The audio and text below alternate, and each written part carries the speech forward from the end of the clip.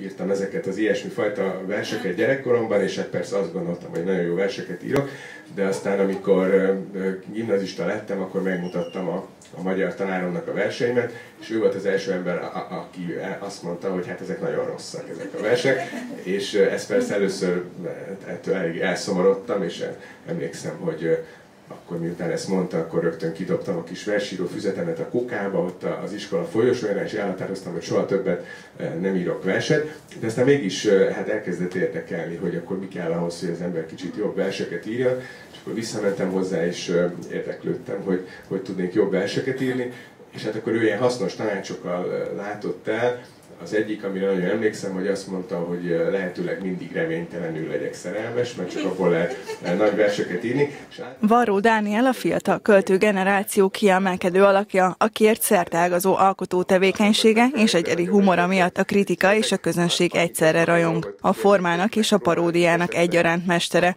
Számos műfajban megmutatta már a tehetségét a hazai közönség előtt. Versek, gyermekversek, színdarabok, valamint műfordítások fűződnek a nevéhez. Már fiatal korában is jelentek meg művei különböző folyóiratokban és uradalmi újságokban. 1999 óta pedig nyolc önálló kötete is megjelent.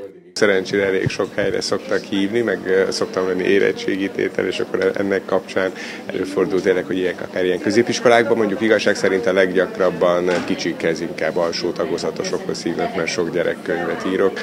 Nekem is három kisgyerekem van, úgyhogy mostanában főleg ők a célközönségem, de nagyon örülök, amikor ilyen lehetőséget kapok, hogy középiskolásokkal találkozhatom. Nem Varró Dániel volt az első, aki rendhagyó irodalomórát tartott az Rényiben. Legutóbb egy könyvheti bemutató kapcsán Grecsó Krisztián volt a vendég.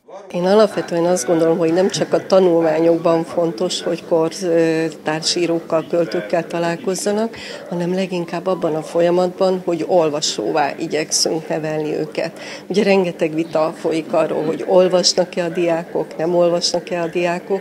Én magyar tanárként azt mondom, hogy semmi nincs fontosabb a kommunikációban, szókincsfejlesztésben, mint hogy találkozzanak mindennapjaikban az irodalommal.